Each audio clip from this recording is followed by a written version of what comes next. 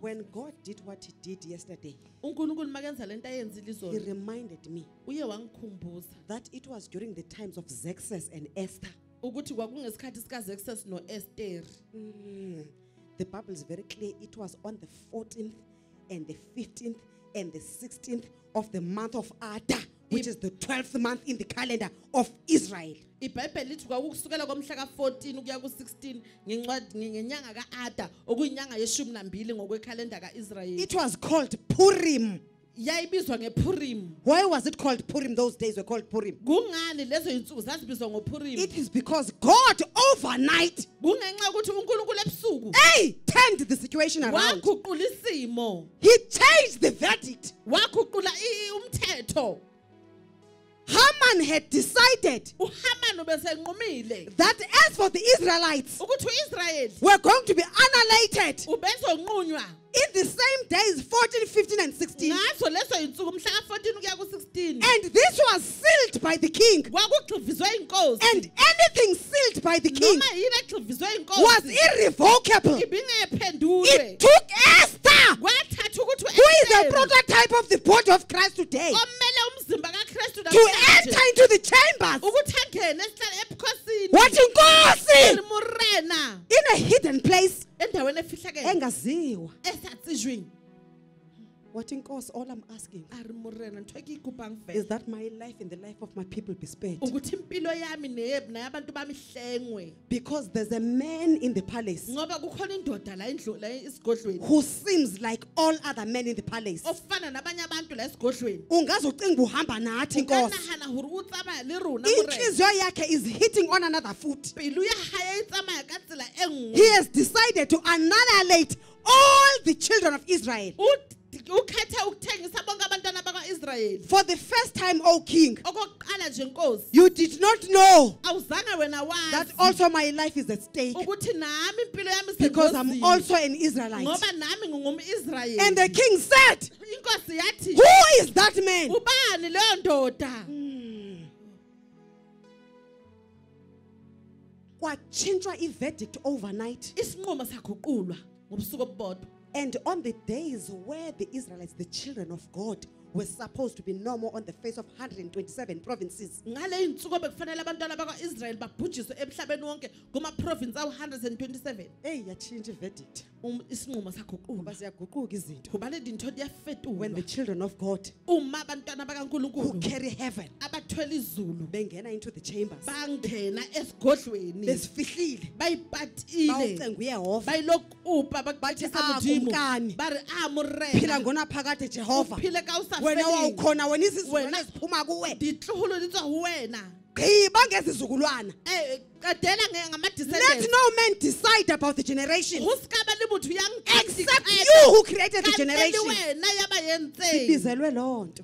Re bileditswe ntho eo So when God did what he did yesterday, unkulunkulu menza le nto ayenze izolo. It was very deeply personal. bekuyinto ejule kakhulu. I'm walking in a journey. Ngihamba ohambweni. Where I have I don't know how many times I've found myself fasting without water, without food.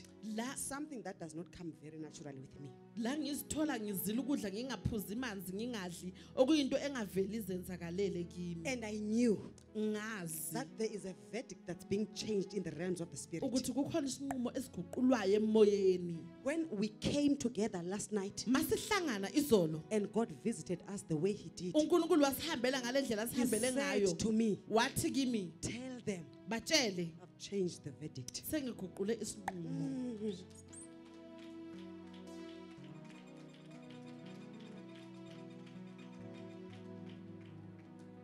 What tell them wathi the batshele verdict isinqumo that was set by men ebesikhulunywa has been turned around by God Almighty ngunkulunkulu onamandla wonke when he signs down with the signature of his glory. No man can turn that around. ongaguqula leyo nto Kugqityiwe. Ndizothi kugqityiwe. Robo shathe. Rorabo shathe. Mm. Kugqityiwe. On this day, ngalolu we are entering a place of celebration. re kena tao- What was supposed to be death for you lokho bekufanele kube ukufa has been turned into life. The verdict of failure has been turned into success. The verdict of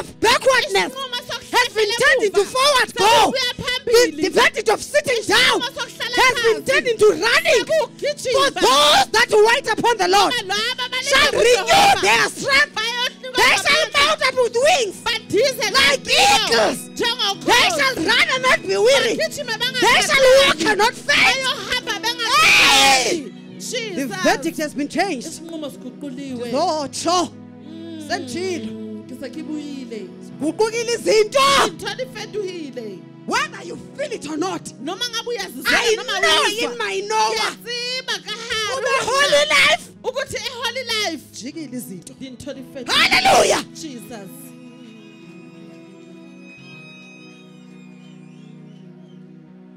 Undivakatshele emini. ufihlile ho nna motshehare Ayinile lokho ezikalirato. ke ntse ke ainela auslerato Wafika ndeva. a fitlha ka utlwa gore yo Ngathi inkosi kwenzekani? ka re modimo go etsagala What check the calendar my a re darling. checka calendar In my timing. ka nako yaka When the verdict is changed and it is signed by me. futhi sisayinwe yimi No man can revoke it. akekho umuntu ongamelana I've come to declare that. ngizomemezela lokho Umelwe ngamazulu. uyemetswe ke God himself has come through for you. o tlile for Umelwe nguJehova. uyemetswe ke modimo Ubobo lwakhe yena ka sebele ubuzotshintsha isimo. Hallelujah. jesus Hallelujah. Hallelujah. amen Hallelujah. jesus Hallelujah. amen Hallelujah. Hallelujah. Bamba. tshwara Tshintshiwe isimo. Bamba. tshwara Tshintshiwe isimo. Bamba. tshwara Tshintshiwe isimo. fetohile Tshintshiwe isimo. Hallelujah. Hallelujah.